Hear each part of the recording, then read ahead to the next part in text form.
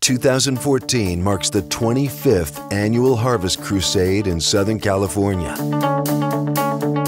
The first evangelistic event, originally called Summer Harvest, was held in the Pacific Amphitheater in Costa Mesa. But when that venue was quickly outgrown, Harvest moved to Angel Stadium in Anaheim.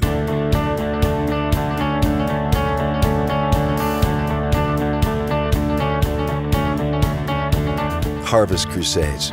The sole purpose? To proclaim the good news of Jesus Christ to as many as will listen.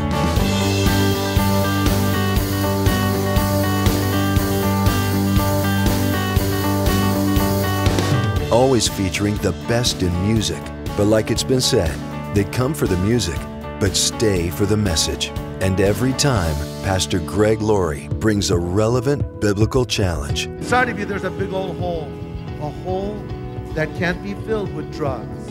It can't be filled with sex. It can't be filled with material things. It can't be filled with drinking. It can't be filled with accomplishments. Even, listen, even religion can't fill that hole.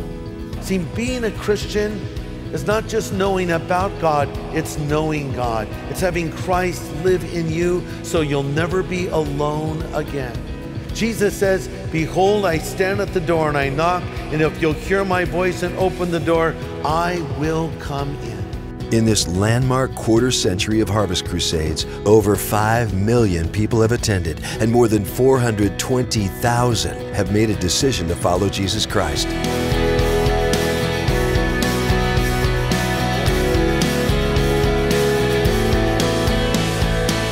In 25 years, we've seen some dramatic changes. The fashions have changed. The art has changed. The music has changed. But one thing has never changed the timeless message of the gospel. And because of God's faithfulness, the impact of the Harvest Crusades has reached far beyond Southern California to cities and states across the country and around the world.